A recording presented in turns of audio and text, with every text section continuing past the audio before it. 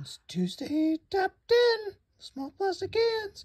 We got the top 10 uh, greatest bands of all time with number 10 going with the Beatles. They would be higher up, but uh, they didn't tour like most of their whole careers. And number 9, Rush. I mean, Tom Sawyer, for crying out loud.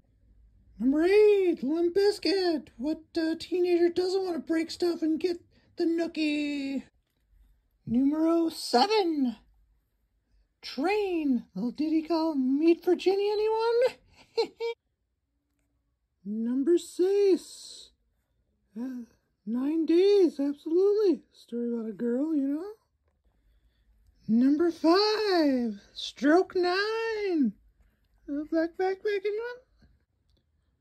Number four, I know you're all hanging by a moment, and it is Lifehouse. Yay.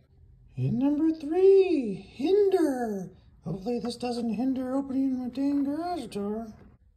Number two, Three Doors Down.